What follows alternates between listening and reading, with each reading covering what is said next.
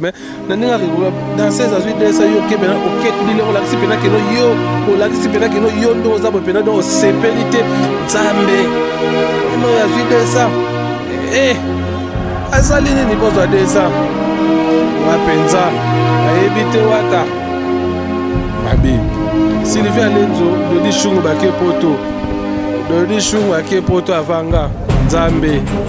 e eh, lodi ake poto nzambe oyo oh, bango bamema états-unis operdre na yo merci na yo rene abi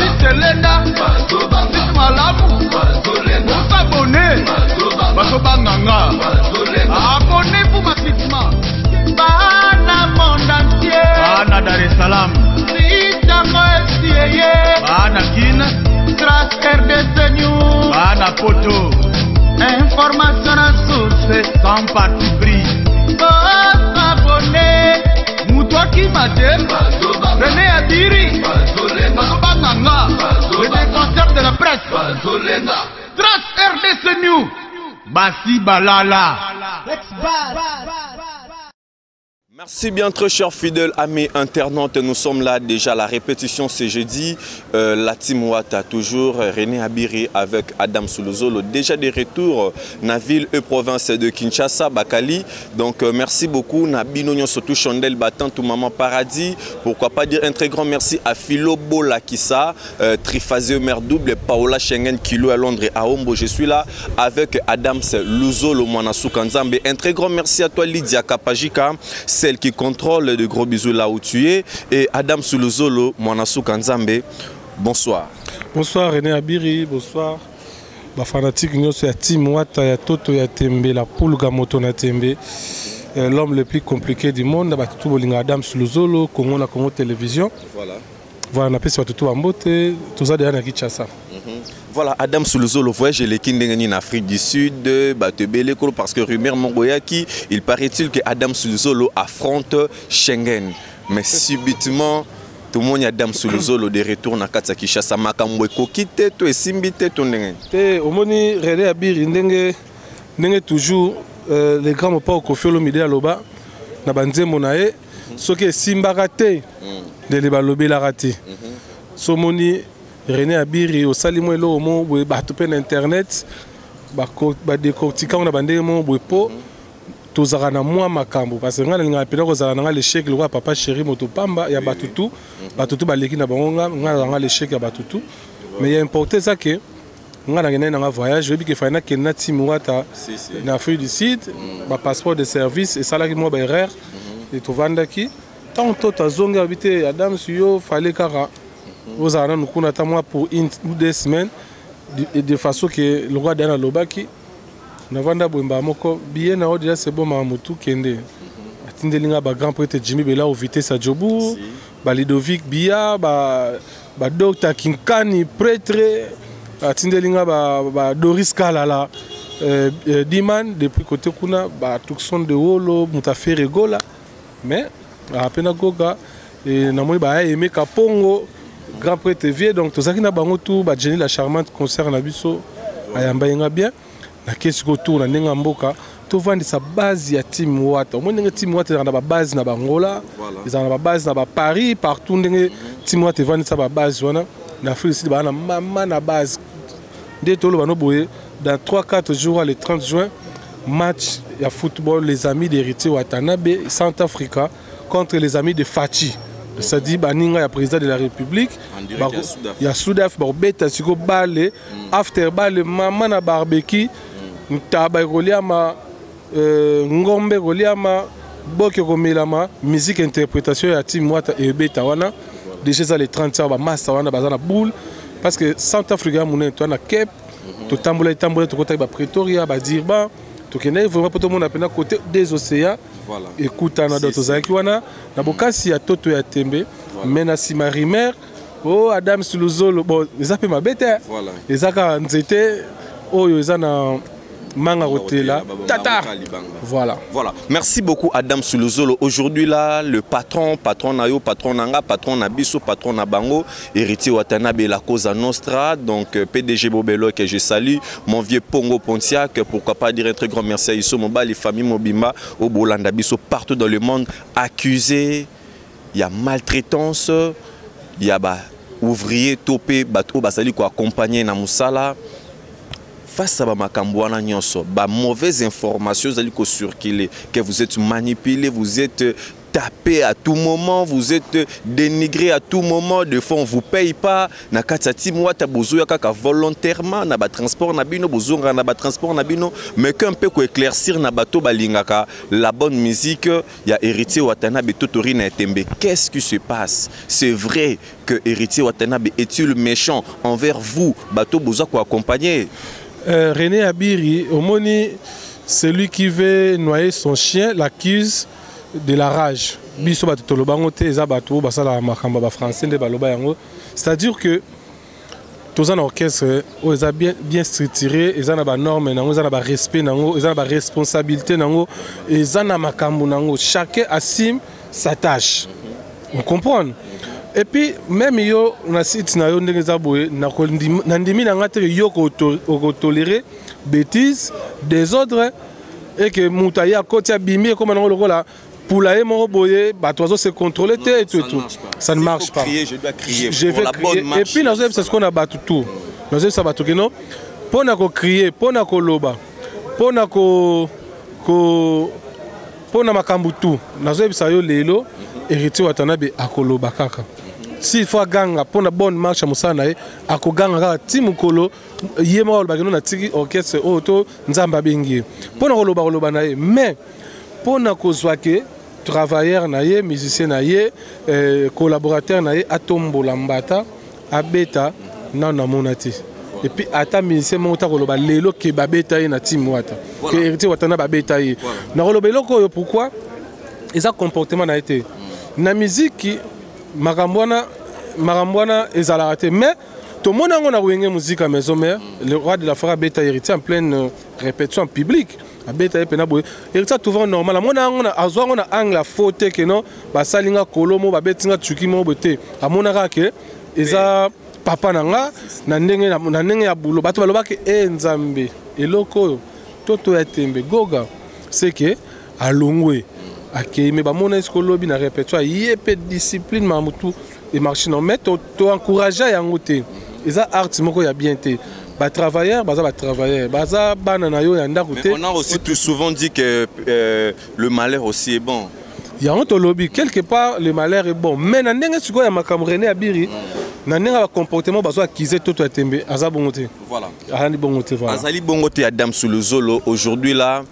Mama Mambongo kutu nalobi mm. Mama Mambongo yo oyebi opération ya bancalisation tout le monde eh ngai nzambe natiki nani na nga biso tozala banimero ya bacompte tokende kuna na babiso ku toyembaka te mais toza babénéficiaire tozwa banimero ya bacompte bancaire ngai na passeport de service ya orchestre makambo tout donc eza normal moto soki alingi akende akokende langage ya bato balongo ezalaka kaka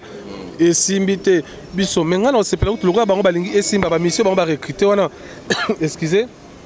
basalisa bango mpena makambo yango nde ezalaka c'est-à-dire bapele bango bakar basama nde ezalaka pena kua donc voilà. que na ntima ata bopele bango bakar mpo bango mpe bapele baoya bango bakar te musique serviteur asalaka oyo patron na ye azalaka eza ba ba réclamation na bango eh, eza ba réclamation na bango nde balobi que non il fallait normalement ba payer bango ba car et tout et tout mais bazui ba car te mais oh ba pesa ba car René Abiri yo ko ndima pena yo ko ndima pena héritier Watanabe na orchestre na ye apesa musicien nzembo mpo musicien akende kosala échange nzembo contre voiture catch vite to ist e je ne pense pas héritier mpena kozwa mpena nzembo ndeti ya mish kangandu boye to ya champion voilu to ya manzeku na mbonda nzembo na ye bateki yango mpena 25000 oh, akenda te bazwi mpena nzembo ndeti ya ya chef mish kangandu boye nzembo kitoko baoteka yango 30 000 dollars na 30 000 dollars wana ye moko ayebi ke nakozwa 10 000 naopaye grand car naopaye baya car ya bien okozwa mpe na euh, euh, euh, nini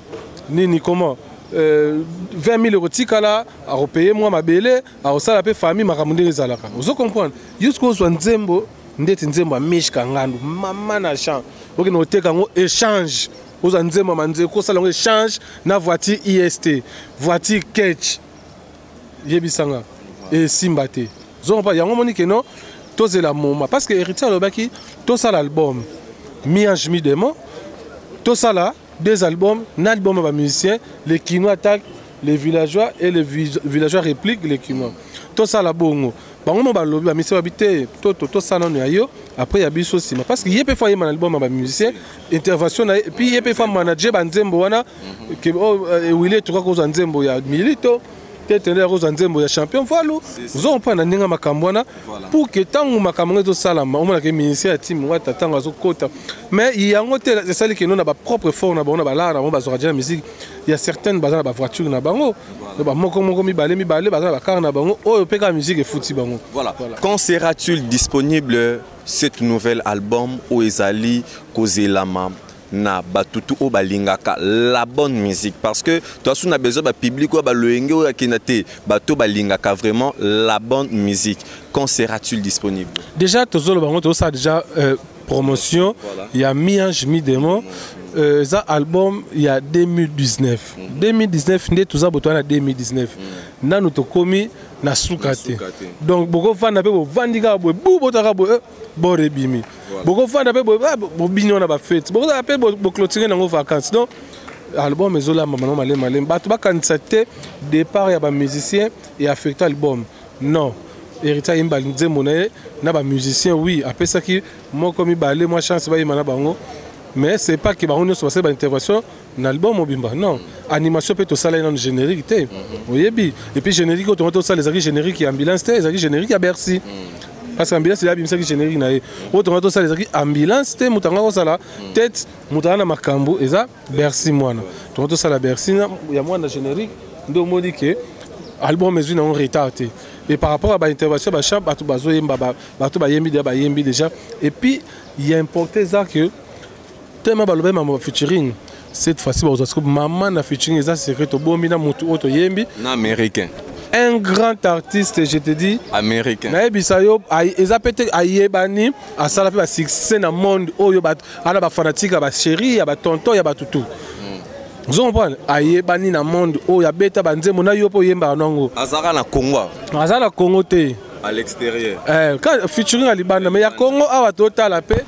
totala mpe eh, totala mpe ntango mosusu mpe bokozwa mwa tsatsa mais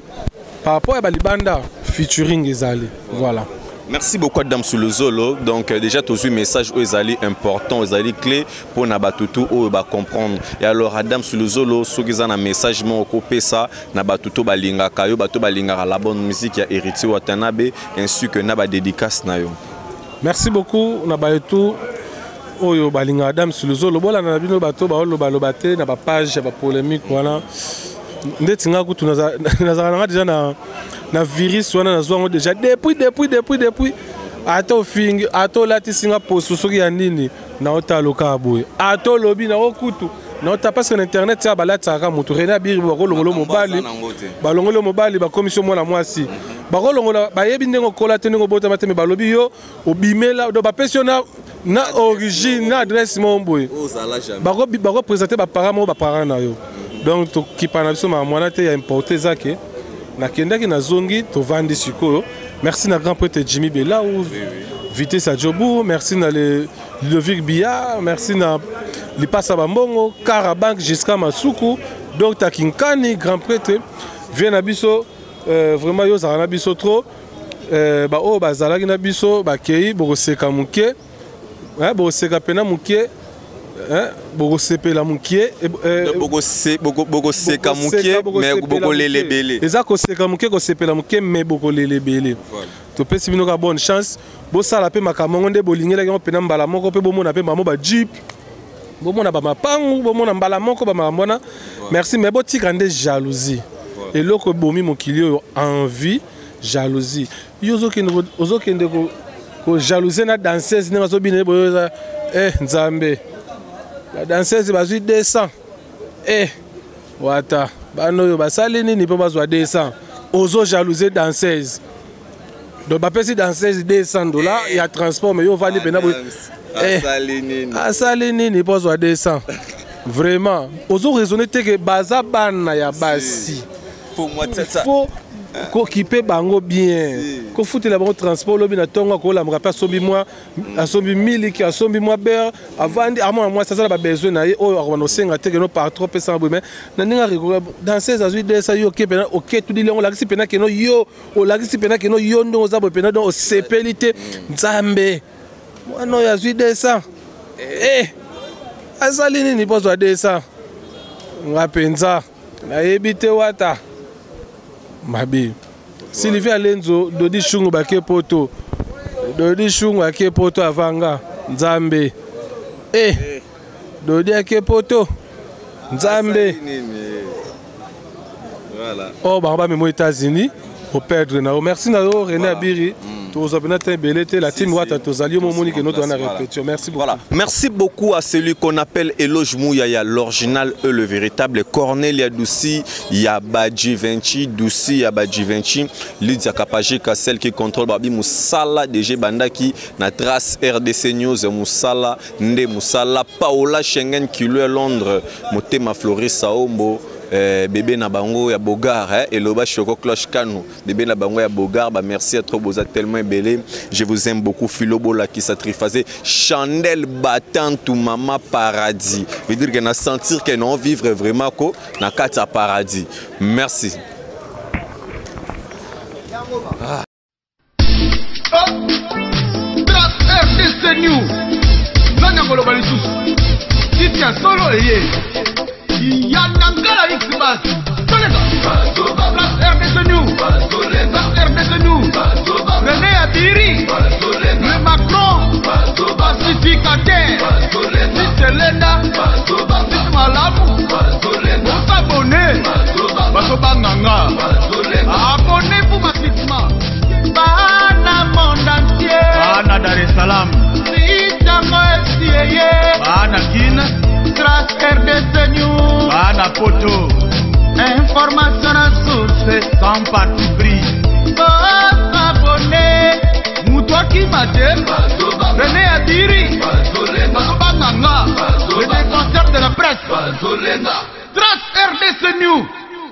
Basi balala. Ex bass.